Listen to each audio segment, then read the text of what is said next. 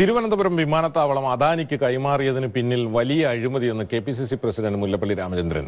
Pinarayi Modi കൂട്ടുകെട്ടിന്റെ ഒടുവിലത്തെ ഉദാഹരണമാണ് airport കൈമാറ്റമെന്നും ഇതിൽ സമഗ്ര അന്വേഷണം വേണമെന്നും മുല്ലപ്പള്ളി രാമചന്ദ്രൻ കൊല്ലത്ത് ആവശ്യപ്പെട്ടു.